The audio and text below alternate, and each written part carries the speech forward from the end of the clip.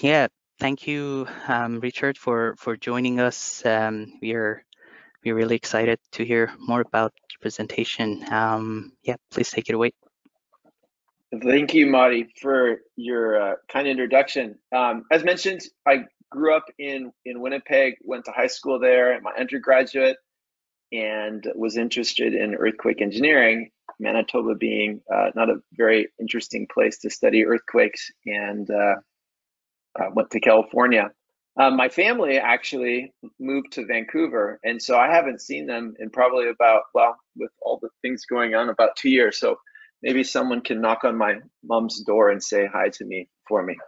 Uh, but anyways, um, I'm excited to present this work to you. This is something that I've been working on over a, a period of a, a, few years. I have a fairly high teaching load, and so I, I try to to make some concentrated efforts uh, in research. And this is something that really was spurred on and started as a result of my work at the California Division of Safety of Dams. So related to that, and, and so the California Division of Safety of Dams is a regulatory agency. Um, in California, for instance, there's 13, over 1,300 dams in, in the state. Um, and uh, because of that, and because of the high seismicity of the area, is that we're needing to constantly evaluate the stability of dams. Uh, and in doing that, one of the challenges in predicting the seismic deformations, potential seismic deformations in a dam in the future, is what type of seismic loading are we going to design for? In particular, on the, the left-hand side, you would see uh, various uh, probabilistic seismic hazard analysis targets. Uh, on the right-hand side would be a deterministic approach that's often used still in California as well. But one of the key decisions in this is, well, what ground motion intensity measure should this be developed for? First, first is the level. Is it 50th, 84th percentile? Is it a return period of 2475? Is it 5,000 years, 10,000 years? Uh, and then also, what intensity measure are we needing is, is of importance. Spectral acceleration, peak ground velocity, cumulative absolute velocity as an example. There were general recommendations uh, by the state agency, but still, I think there was still some uncertainty and um, maybe lack of confidence um, at that particular time in the past, if in fact that was the best measure, prim- primarily because you know, the consultants would be presenting their work and you know consultant A would think this would be the best ground motion intensity measure and consultant B would think another one was and so forth. Uh, another application of this work is highlighted right here. Um, so this is um, data, and I'll, I'll, describe this data in, in, a minute, from the magnitude 6 Napa earthquake that occurred in 2014. The black dots that you see, or actually all the dots, are different dams that are located uh, in the Bay Area. And the star is the epicenter of the earthquake. Uh, with with having well a, a, lot of dams in California, uh, one of the important aspects is following a significant event, these dams need to be inspected. And which dams need to be inspected first? Um, to accomplish this task is the California Division of Safety of Dams, and I should also note other um, other water uh, service um, units such as East Bay Mud and Valley Water, for instance, use systems such as ShakeCast. Um, ShakeCast runs on ShakeMaps. Shake Maps is a uh, is a pro, uh, is a service provided from the um, USGS as an example. And so, based on this, you'll see uh, a series of dots, uh, the orange dots, and then the yellow dots the intent with this is a prioritization. And actually, there's a red dot right here is a prioritization on which dams should be inspected first. And so they have um, some simple metrics uh, to do that uh, as well.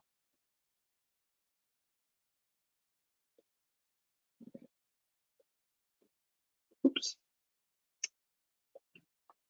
So with with these motivations, um, I'm going to be presenting the work from two uh, projects. Um, the the first is uh, a paper um, that I presented at a USSD conference. If someone is interested in this paper, you're welcome to, to contact me. My contact information is later uh, in the in this presentation, and then a subsequent uh, paper, as well as the work related to that, that has been uh, published in Earthquake Spectra.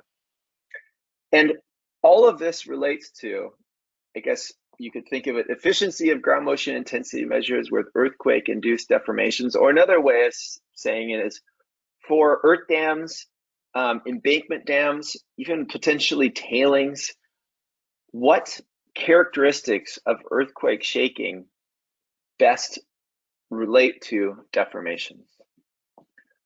So first I'm going to talk about over the next uh, several slides, uh, talking about ground motion intensity measures and uh, dam damage here's the paper, and I'm certainly happy to provide you a copy of it if you are interested in that. So the purpose of this particular study, and, and this dam and this event will come up uh, later on, is to explore uh, the capabilities of strong ground motion recordings to track deformations. Uh, in particular, uh, what we see here um, is on the left-hand side are a series of strong ground motion instruments at uh, Lenihan Dam. Uh, Lenihan Dam, you can see the, the location provided uh, right here. And uh, it is uh, located in kind of South Bay area. Um, and it was shaken strongly uh, during the 1989 Loma Prieta earthquake. There were recordings along the abutment and at the at and at the crest. And as I will show, there were also some notable deformations, uh, in particular in the lateral direction. This would be downstream, the displacements. I apologize for the English units my apologies, uh, 0.1 to 0.25 feet. And in terms of the vertical direction, uh, 0.61 to 0.85 feet.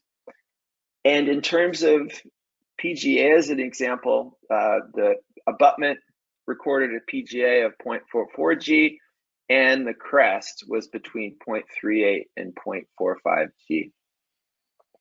So what this provides is a useful case to see if or what information can be provided from these strong ground, ground motion instruments that may relate to, in this case, the, the deformations. And this these deformations actually did relate to some damage, in particular cracking in the embankment. So what I'm going to go through first is go through the uh, strong ground motion results and highlighting if or anything is indicated in these results and how it relates to deformations. First up, what we're going to, what you see here is the acceleration, velocity, and displacement. This is measured, the abutment, the lateral crest, and the right crest. And so also what I've provided here is a dot, and that dot is the time and the magnitude associated with the, the maximum absolute value. Uh, these are all measured. Also, in terms of displacement and velocity, this has been obtained by integrating and then double integrating the acceleration time history.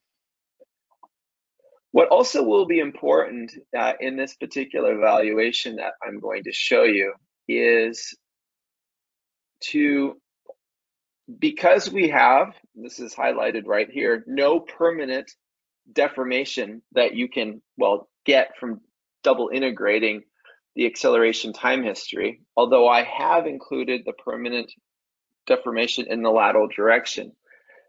It was useful in this particular study to extend these results uh, by including numerical simulations of Lenihan Dam during the same event. I'm going to talk about the numerical simulations for Lenihan Dam in greater detail later on in this presentation. But what I I'm, am going to show you next is the calculated results. And if I go back and forth, uh, there certainly are some differences. Um, but from a maybe practical standpoint, uh, they are somewhat close uh, to what's being measured. The, the reason I say that is, is not at this stage to evaluate uh, the numerical model itself, but to say, well, maybe we can extend some of our observations measured by looking at the calculated. In particular, is the fact that in these simulations, and this is all at the crest, you can see that as the simulations are suggesting is that you have some permanent deformations. And that's going to be helpful later on as we look at the timing of for instance when the timing of key metrics are located and how that relates to deformations. In particular or for example you can see that the maximum displacement was calculated at about 10 seconds whereas the maximum peak ground acceleration um, at the crest was several seconds before that particular time. The goal here is if or anything, can you relate maybe triggering of some condition with a strong ground motion instrument with deformations, which would be important in terms of determining whether or not there's an expectation, especially if you had this data remotely, to go and inspect that particular facility. In particular, what you see here now is the red curves in both cases are the calculated accumulation of displacement relative to the base of the numerical analysis. The hope in this is that this is, and you can see this at least in the case in vertical direction, is that this red line is the calculated variation in displacement over time. And you can see that it's within the range that was observed. Laterally, you could see that the displacement was over predicted. But hopefully the timing at least is would have been similar had we been able to measure this um, during the earthquake in comparison to what we're calculating. And as I had alluded to in the previous um, the previous slide, is that, and maybe not surprisingly, uh, is that in terms of the maximum displacement, certainly does not occur uh, with the time of maximum peak ground velocity and air acceleration. But you do see, for instance, that when you start accumulating those values, is that it does correspond, at least in this particular case, reasonably well to the location of the maximum values at the abutment. I should note that the, the abutment PGA and the abutment PGV, that is in fact the same point, just the square is laid over top of the circle. So in terms of peak-based characteristics, focus being trying to look at which characteristics of earthquake shaking relate to deformations, is that it doesn't seem, in terms of maybe when deformations occur, maybe roughly speaking, abutment PGA seems like at least describes a little bit uh, in terms of when these start, but not particularly helpful or nothing really jumps out in any other respect. Another tool and something that we frequently think about is the impacts of changes in frequently content or how that might relate to deformations. What I have provided here on the top row are the variations in uh, displacements calculated. And then subsequently, these plots below is a short-term Fourier spect uh, spectrum at these small windows over time at different locations. Uh, this is the right and left crest, the two, two strong ground motion instruments, and then also the abutment. These colors, the brightest colors, are representing to the, the, the, the, the largest amplitude at that particular frequency. So in this case, this is zero, five, and 10. And so what we are seeing and what we should expect is as when we have strong shaking and when we're accumulating deformations, what that means is that we have a reduction in stiffness.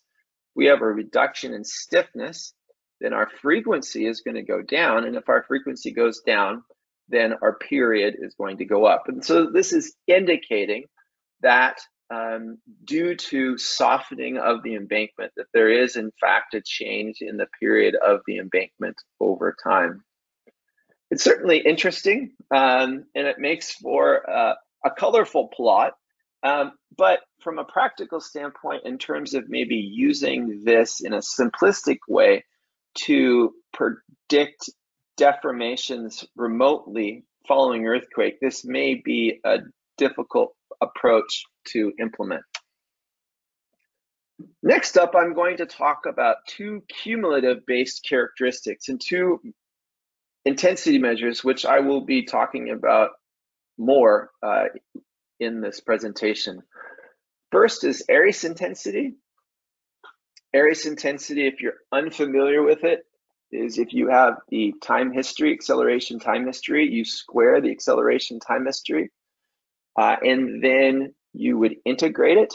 And if you integrate it for all time, then multiply it by two and then divide it by 2g, this would be your total Arias intensity. Or alternatively, you could view it as it accumulates over time. What I've done here is to try to uh, to try to compare how the accumulation of an Arias intensity, because you're slowly, you know, adding the contributions of this integral as it gets larger and, and larger, you know, adding up areas. Um, what I've done is to kind of normalize all of these things and to see, in particular, does Arias intensity track the accumulation of displacements um, that were calculated for this numerical analysis.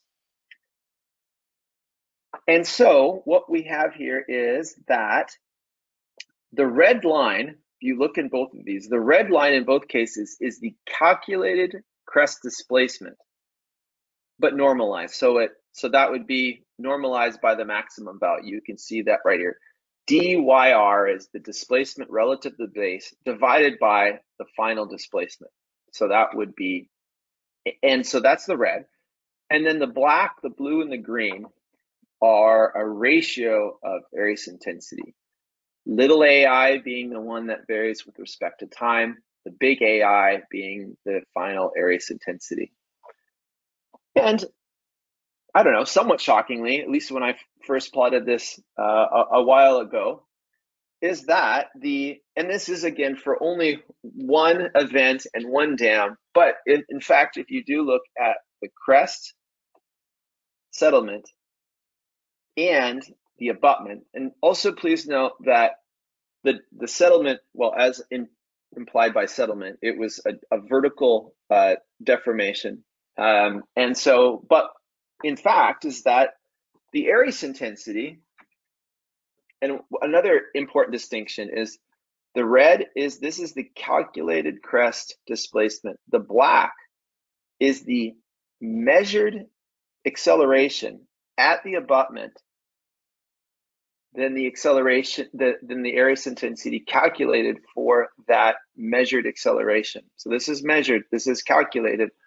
But what we are seeing is that the, it tracks quite well the expected variation in displacement. The abutment does a better job of the lateral of, of the, uh, it does a better job than the accelerations at the, that were measured on the right and left crest. So this is in terms of vertical deformations. Over on the side to the left, I mean, certainly because there's the embankment's moving back and forth, there is definitely more variation in terms of the displacement, which is not being uh, which is not being tracked with the Arias intensity. But um, it does seem like it does a pretty decent job of tracking deformation over time. These cumulative base characteristics or Arias intensities are also sometimes called, you know, evolutionary. They evolve over time. But so this is one. Another, which I'm going to show you on the next slide, is cumulative absolute velocity the main difference between the calculation of this intensity measure, Arias intensity, and cumulative absolute velocities, and here you see there's a square, whereas with cumulative absolute velocity, as the A suggests, it's absolute, is that you can see that there's an absolute velocity, uh, or takes the absolute value of those particular parameters and then adds it up. you see that the big impact here is between the square and the absolute value is that in both cases, I go back and forth, the red line's not changing. What's changing here are the black, blue, and green. Same acceleration time history, that was measured. The difference being is that here I'm tracking cumulative absolute velocity. Here I'm tracking, tra tracking Arias intensity. Is that we are seeing is because of the fact of the, the different way in which cumulative absolute velocity is defined, it does not track the variation in displacement quite so well. So this is indicating um, that in terms of the intensity measures, in terms of the characteristics that we can directly calculate from acceleration uh, from these strong ground motion instruments, which is providing acceleration, uh, is that in terms of uh, peak measures, so PGA, PGV, and um, I guess, and uh, PGA and PGV, I get would be the good ones. In terms of some type of frequency content, uh, and then cumulative measures such as Arias intensity and cumulative absolute velocity, is that of those Arias intensity related best to the accumulation of deformations. And with that, cumulative based ground motion characteristics appear to be the preferred choice for remote prediction of deformations of an earth dam immediately following an earthquake. Now, one thing that this that I've shown thus far, and which I'm going to focus more on, is what this is interesting in that maybe it can track the the accumulation of displacement, but I think in most cases we just want to know remotely. There's an earthquake, we have a dam that is uh, maybe 50, 50 kilometers from where we need to inspect it. Is there any way that we could predict? I don't really as much interested in how it accumulates, but what's the what what might be the the vertical de deformation? What what might be the damage at that dam? So really, we're interested more in terms of the magnitude and predicting that magnitude, and so that's going to relate to a subsequent work that I'm going to be showing you next. But this is suggestive that there is something powerful about these cumulative-based characteristics. So that relates to the next paper, um, and I'm going to be highlighting that in the, the remainder of this presentation. So this relates best to the first slide, uh, which had to do with developing um, a seismic hazard um, often. You know, we're using a uh, you know, uniform hazard spectrum as an example, um, but uh, certainly there are options to be able to define the seismic hazard for other targets. In terms of picking whether or not it was pseudospectral acceleration, such as in the case of the uniform hazard spectrum, or another intensity measure, in terms of this setting, such as peak uh, peak ground acceleration, Arias intensity, significant uh, duration, and so forth, is there's a few important characteristics which are important in terms of these particular decisions. These are split up into the following three. The first is what's referred to as predictability. Um, this is the way that this can be quantified is a predictable intensity measure is one in which the standard deviation of the prediction of that intensity measure, so let's say peak ground acceleration, is low. Um, and so that's a, a, so if something is predictable, you know, if ground motion measure A is more predictable than ground motion measure uh, B, then that means that ground motion A has a lower standard deviation in that particular case. The other, and this is the focus of this present study, is efficiency. Efficiency now focuses on a particular structure. In this case, my focus is on earth dams. And in particular, what, what the goal here is to determine the standard deviation, standard deviation of the prediction of some engineering demand parameter. So for instance, vertical deformation of a dam um, with respect to the ground motion measure itself or conditioned on the ground motion measure itself. And I'll describe that later on. The last, which is also important, is the sufficiency of an uh, ground motion intensity measure, and that refers to the bias of those results with respect to things such as earthquake magnitude, earthquake distance, and epsilon. Pictorially, you can see the, the, the pictorially, you can explore this idea of efficiency provided right here. Uh, in particular, you know what what you would want uh, is, and this is highlighted in, in three different cases, is that your expectation is that for your structure, and let's say for instance, displacement delta is the key metric that in terms of the performance of your facility that you're interested in. And with that, um, you your expectation would be one is that as the percentile level or as the, the strength of that particular ground motion characteristics increases, for instance, PGA, in a deterministic sense from 50th to 67th to 84th, the expectation first is that, well, you know, you'd expect that that performance metric, say displacement, will increase which is the first problem with the one provided on the far left, is that this this particular situation would not help you at all. Because now you'd say, well, if I have uh, 50th percentile loading or 84th, I'm getting the same type of deformations.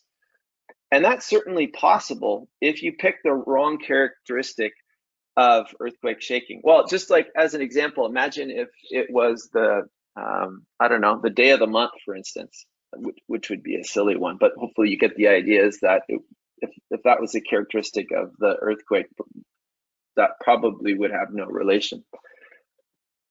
So that's important. But then also important is that we would desire to have at say a particular loading level, for example, 67, is that this red solid line would be the mean prediction, and then the dotted line above and below would be plus or minus one standard deviation. Is the hope is that you would want to pick one where at that particular level is that you have an efficient prediction, meaning that you know you're not going to expect to be significantly uh, above or below. And so in these three cases, is that the most efficient ground motion intensity measure of IM1, 2, and 3 is going to be the one highlighted on this far side. So this was my objective, and I wanted to do this um, for a, a situation that was going to applicable to the dams in California. And so the approach was as follows. I wanted to find two different dams for which I had a case history of deformations of that dam. In particular, because I was going to extend this study with a series of numerical analyses, I wanted to have a case history for which I had a recording of acceleration on the abutment and on the crest to be able to evaluate whether or not my numerical model was working adequately. And then subsequently, I was going to conduct many, many, many more analyses with different ground motions. And with that, be able to compare what the impact of different intensity measures was in terms of displacements, as an example. And with that, then to be able to calculate the efficiency, which is going to be the standard deviation. Then by determining the intensity measure, I could then do that for different types of intensity measures. So I've listed a few already, um, PGA, PGV, Arias intensity, and so forth, and then determine, well, which is going to be most efficient. So the case history I chose was the 1989 Loma Prieta earthquake, and the two dams for this study was Lenihan Dam. I've described Lenihan Dam already. You can see Lenihan Dam provided right here. And then Anderson Dam, uh, which is uh, near, so San Jose is about right right up here. So it's it's down here. Both are in a highly seismic region. One of the important aspects with these two dams is that they're different. Um, there's definitely a difference in height, but the key differences that were particularly of importance to me was that Anderson Dam this lower finer fill and the alluvium that you see in recent um, in recent seismic um, evaluations of this particular facility have been identified as potentially liquefiable. That was not the case for Lenihan Dam. And so now we had two embankments that in the one above, no liquefaction, in the one above, the potential for liquefaction. And so this also provided two different scenarios to, to test the impact of different ground motion intensity measures on deformations. So a key aspect of this work was going to be extending the case histories with a quote calibrated numerical model for different types of situations. The software program that I utilized to accomplish this was uh, FLAC, um, FLAC 2D. And so what I'm highlighting here is the numerical model for Lenihan Dam, and below that is Anderson Dam. Also, the constitutive models that I utilized for the embankment material uh, for both was UBCHYST, but for the lower finer fill upstream alluvium and downstream alluvium for the for uh, Anderson Dam, this would be the one below, I use the PM4Sand model. This is an effective stress model that captures and calculates the impacts of excess pore pressure on the degradation of stiffness, accumulation of shear strain, and so forth. What I want to do now, I'm not going to get into all the specifics, but I did want to highlight maybe some of the important aspects uh, or maybe interesting aspects of this particular analysis.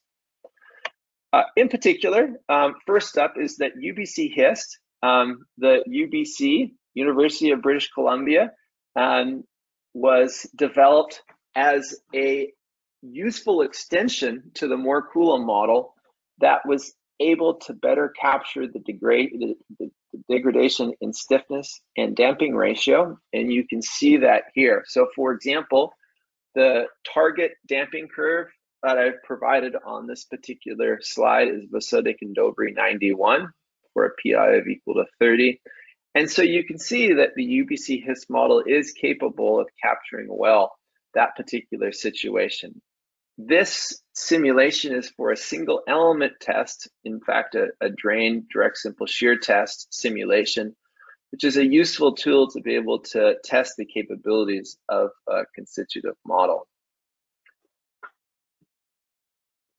Another critical aspect was both the calibration, well, and this is the case for all of the constitutive models, the calibration as well as just identifying, well, what, what is a what is the PM4Sand model able to capture?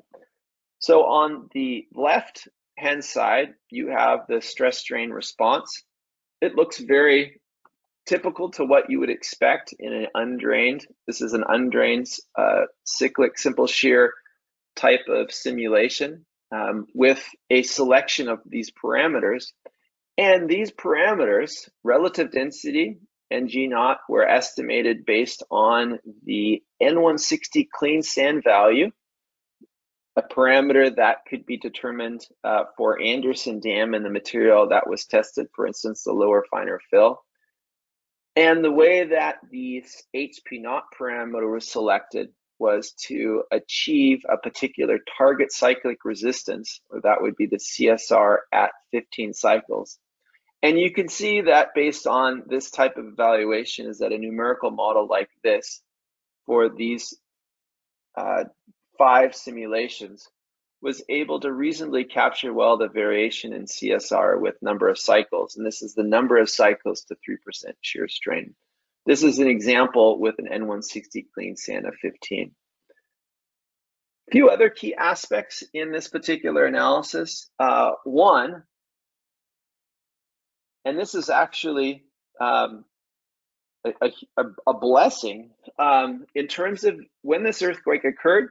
Um, I remember I was in Winnipeg in my in my basement with my dad watching uh, the World Series game, the beginning of it, and uh, it occurred in October.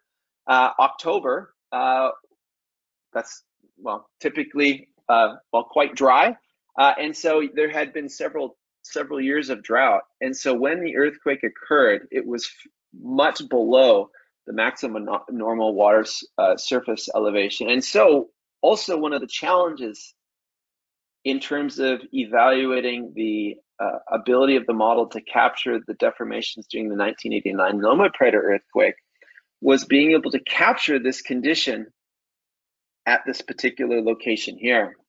The challenge with that is that this is a non-steady state type of situation where you know the reservoir drops and it's going to take some time for the embankment to uh, the, the water in the embankment to, to lower as well.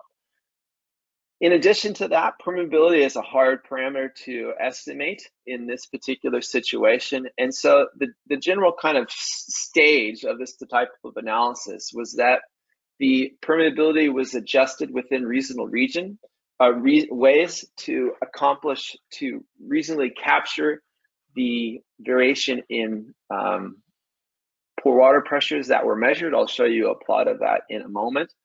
So those permeabilities were adjusted, steady state seepage analyses were conducted in FLAC. And then a transient seepage analysis was done in FLAC where the boundary conditions were adjusted so that it was at this particular depth. And then, then the analysis was conducted for a certain amount of time until it reasonably matched the piezometer readings.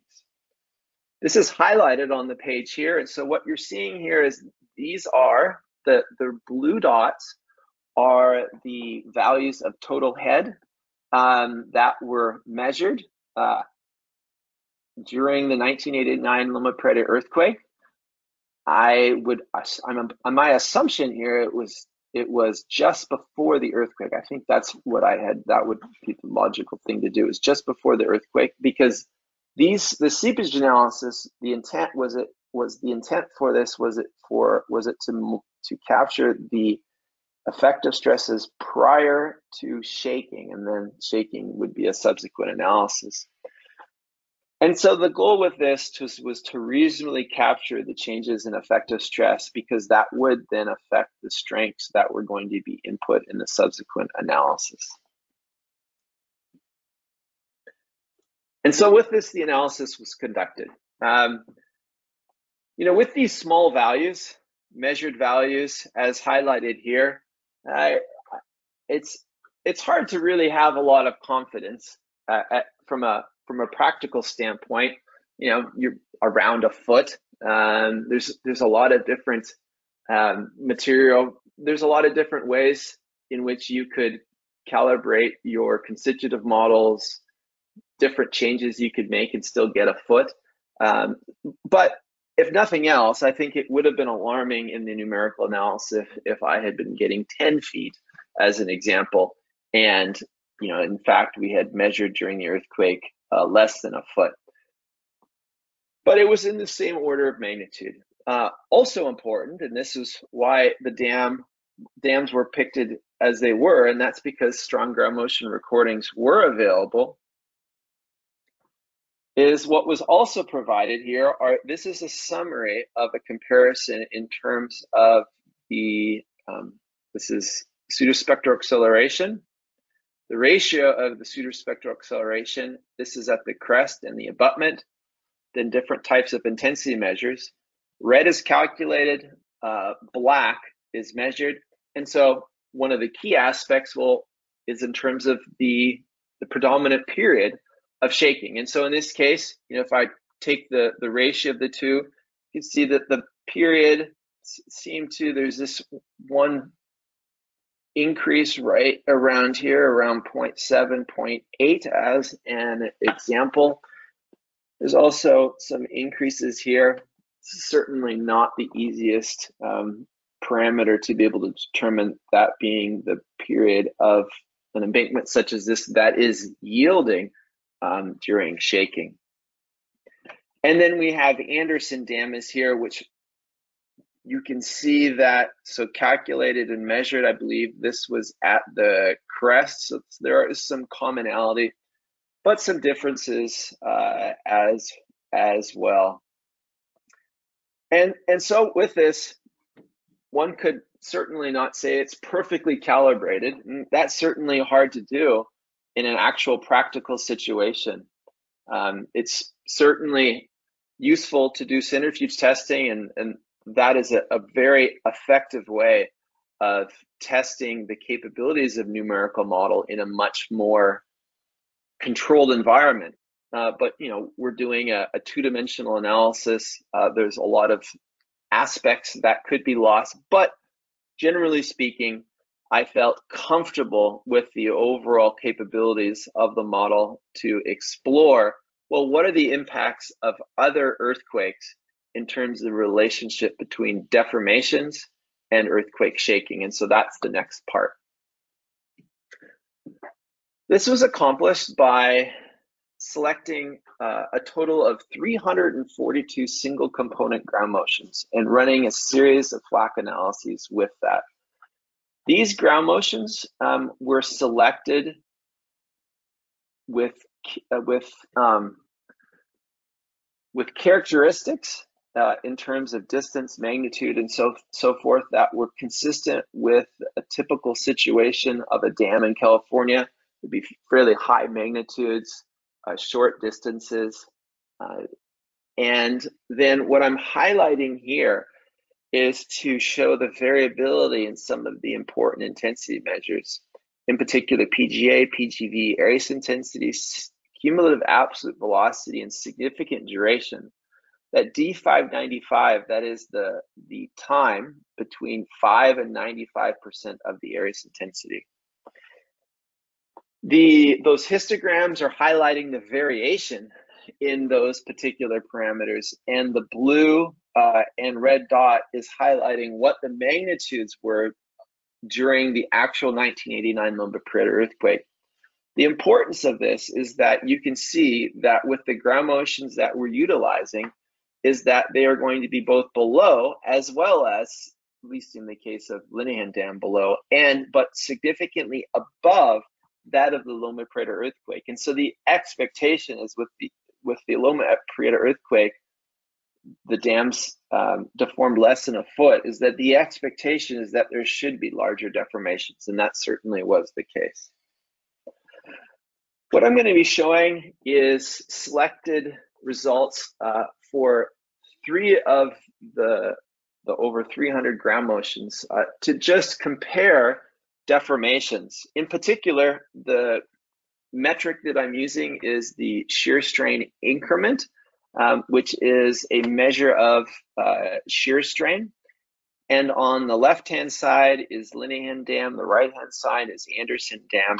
And what I'm going to show as I go to ground motion B and C is that ground motion A was fairly low shaking, ground motion B was moderate, and ground motion C was larger.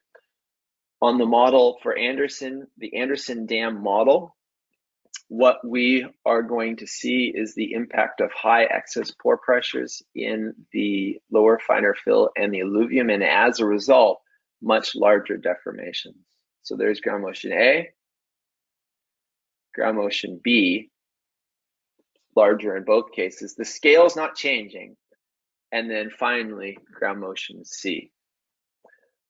Over the next few plots, I'm going to be contrasting Displacement is going to be on the vertical axis. The horizontal axis is going to be different ground motion intensity measures. And the goal in this is to look at the relationship between the two, and in particular, to be able to evaluate the efficiency, the efficiency being shown next. So the horizontal axis, and this is for Lenihan Dam, is this is the various intensity measures. You can read them right there. And these are of the calculated, so I have the calculated acceleration at the base of my numerical analysis. And that based on each of those 342 ground motions, I then compute each of the, the measures here. For each of those ground motions, there's going to be some vertical displacement, positive being down, and horizontal displacement, positive being downstream. And that and that was i think in fact the case. I think you know actually it was absolute value in this case. What i've highlighted here also is ground motion a b and c. So you can see that. And then oh also is that I'm using the, these are log X and log Y. And so for each of these is a linear regression analysis between the log, the natural log of each of these intensity measures, and the natural log of displacement. Here's the prediction. And then one of the things that I was looking at, plus or minus one standard deviation. Just by looking at this, the most efficient intensity measure is that for which has the lowest standard deviation. That would be the standard deviation of displacement or the engineering demand parameter conditioned on one of these. And in this case, you can see the ones that seem to come out would be Arias intensity and cumulative absolute velocity. There's some maybe indication why this might be based on the work that I'd showed you previously for Lenihan Dam during the 1989 Loma Prieta earthquake. But this is for Lenihan Dam, which did not liquefy.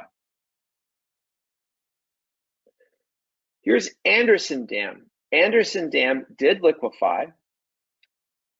Now, one of the complexities is that in terms of lateral displacement, as I will highlight right here, is that there was a lot of movement downwards, but laterally it moved a little bit to the right and to the left and in some cases, there were a lot of inconsistency in, in terms of what the lateral deformation was in that particular case.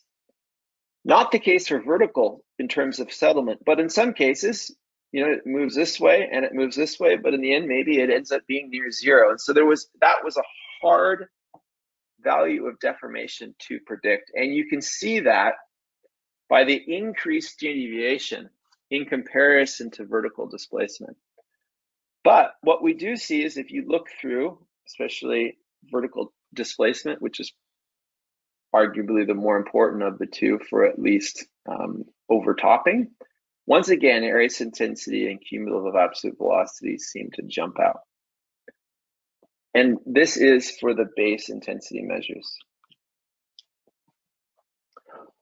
Lots of results, but now we could then con contract compute I've just done this pictorially, but now in terms of the standard deviations themselves, and I am underlying those values that are the lowest. So that would be the most efficient. So this is by looking at the acceleration calculate the base of the model. For Lenihan Dam, you can see that Arias intensity in both cases were. Anderson Dam, it's a bit of a muddier picture here for horizontal displacement, but it does interesting relate to pseudospectral acceleration. That will be discussed in a moment. But you do see that once again, it is the case for vertical displacement for Anderson Dam. One could also look at the crest. Um, so for instance, what I'm saying here is you calculate the acceleration at the crest and you can't compare that to the displacement at the crest. Arias intensity and in fact, peak ground velocity pops up, but I should please do note that if you contrast the two, is that the standard deviation is lower. You provide a more efficient prediction of displacement based on the ground motion at the base, which would be equivalent to the abutment, than at the crest. This is then doing a regression where the intensity measure of interest is the ratio of those two parameters as well. The last one that I'm going to show, and then I'm going to be wrapping up in just a few moments, is,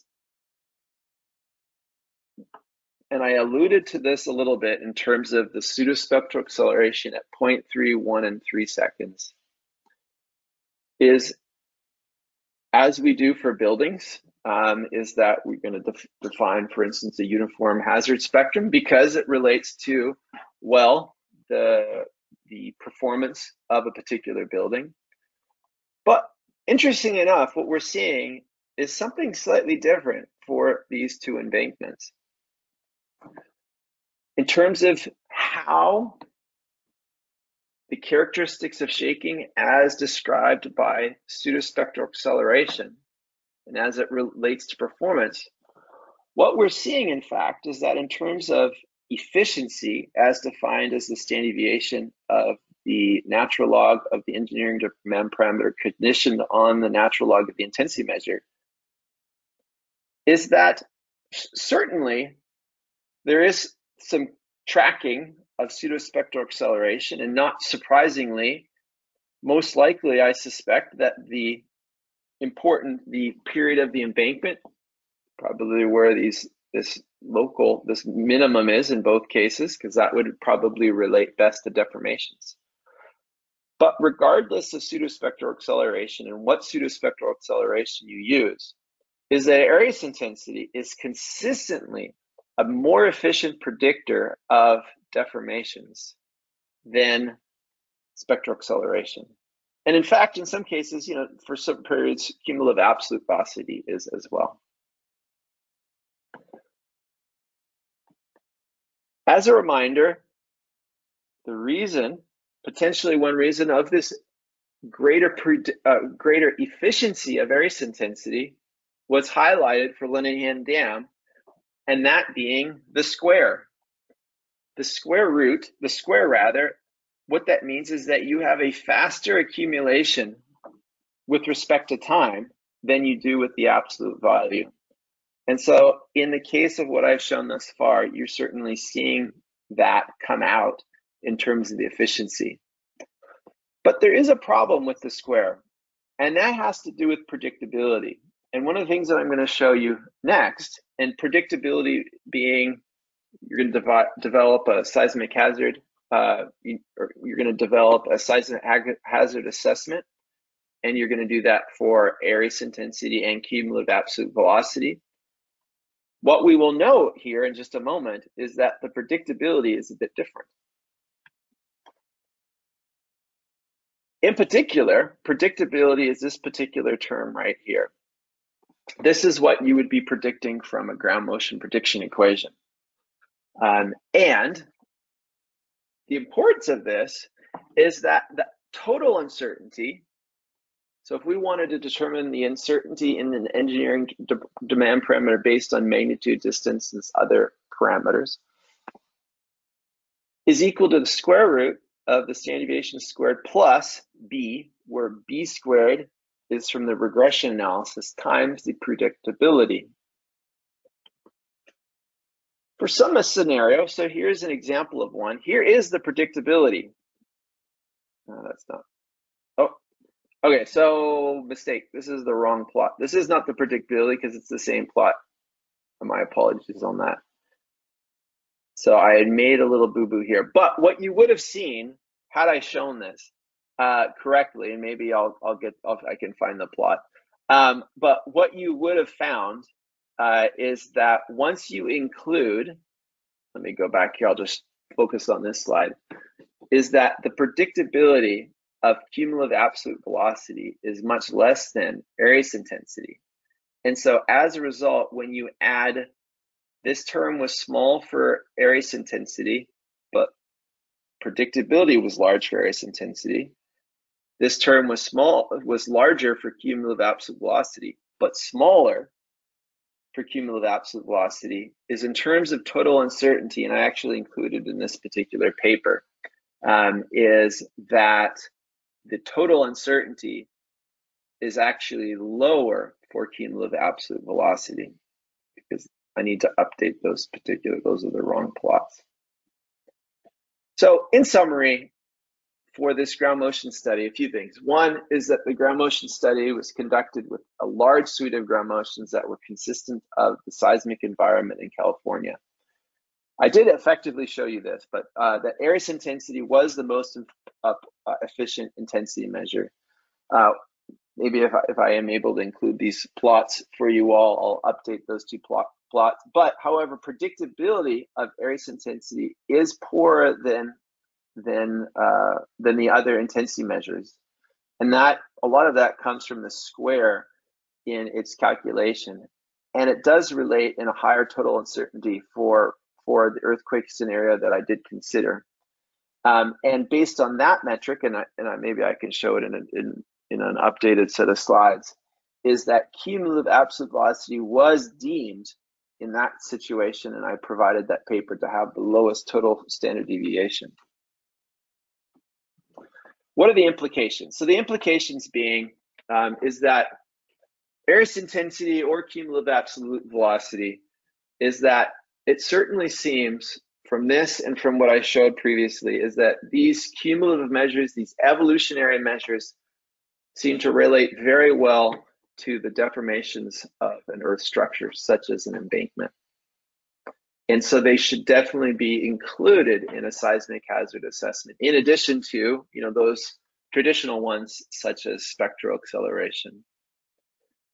And if after an earthquake, and I talked about this, is that Arias intensity may be an optimal intensity measure. So in terms of acknowledgements, um, this project was uh, funded from the California Geological Strong Motion Instrumentation Program. Also, the Santa Clara Valley Water District, who is the owner of those two particular dams, was particularly helpful in obtaining some additional data for discussions. Also, the California Division of Safety Dams was certainly helpful for various conversations along the way. And also at Sacramento State, an RCA award also helped uh, in doing some of this particular work. Thank you everybody for your time, and I certainly would uh, welcome some questions if there, if you have any.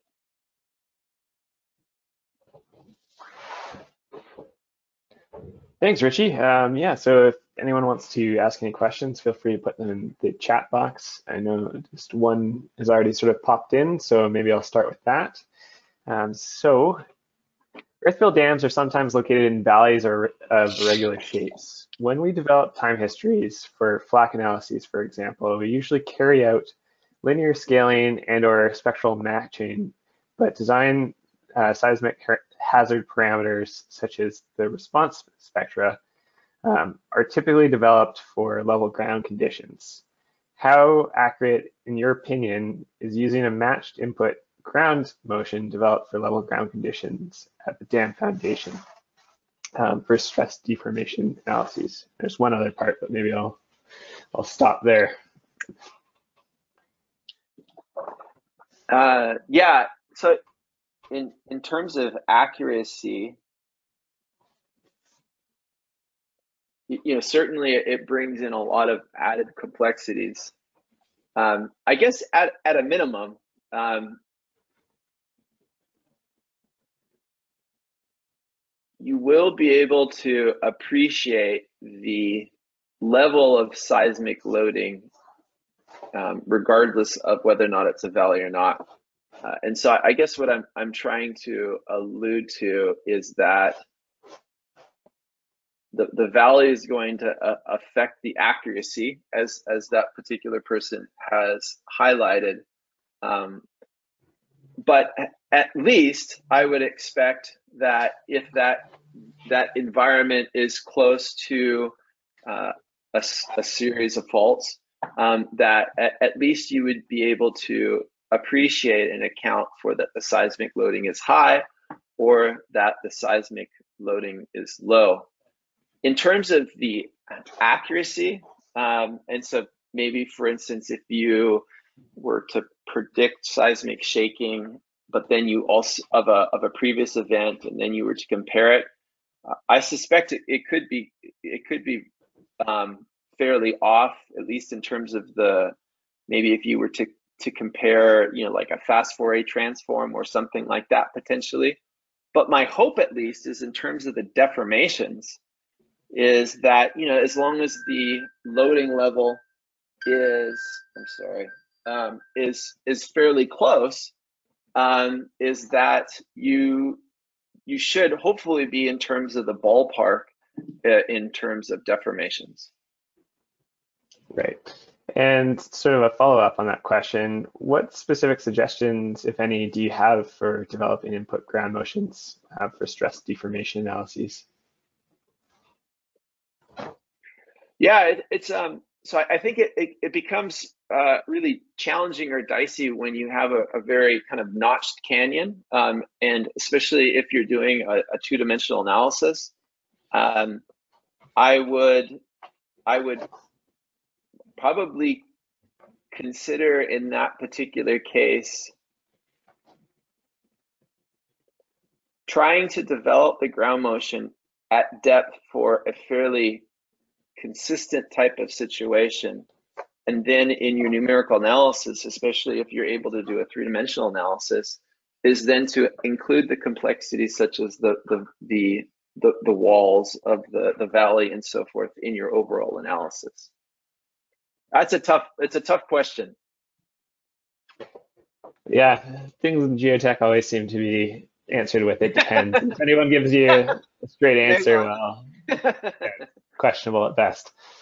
Um, so another question rolled in. Um, in terms of lateral displacements, could it sometimes occur after seismic shaking? Um, for example, the lower, lower San Fernando Dam. Uh, intensity tends to be maxed out as soon as or immediately after the shaking has stopped, while the majority of deformation may occur after um, an earthquake. And mm. Do you, okay, so let me just read the last part of this question. Um, do you still find it's a good match between the normalized plots between Arias intensity and ground deformation um, cannot be expected um, as in the Lenihan Dam? Uh, if so, yeah. do you think your conclusions are limited to dams that do not undergo significant liquefaction? Yeah, good question. Um, okay, so uh, a few things. So in the case of uh, Anderson Dam, based on the um, the seismic evaluation of the dam from the owner's standpoint and, and so forth, um, a, a, critical aspect of that particular work uh, was what is the what was the residual strength and what were the post earthquake type of deformations. The the expectation was very close to an active fault. Uh, the it was the expected that the the alluvium, uh, the lower finer, the the filled material that I had highlighted was going to liquefy, um, and so that aspect was not included in my analysis. So the focus of what I've looked at is just inertial driven loading. So that is a missing part. Um, now, I, I, would say, you know, there's there are probably two critical aspects in terms of that part. First is the generation of excess pore pressures, and then second uh, would be the the gravity driven part. So I guess in the first part is that Arias intensity has been shown by others to relate well to uh, liquefaction.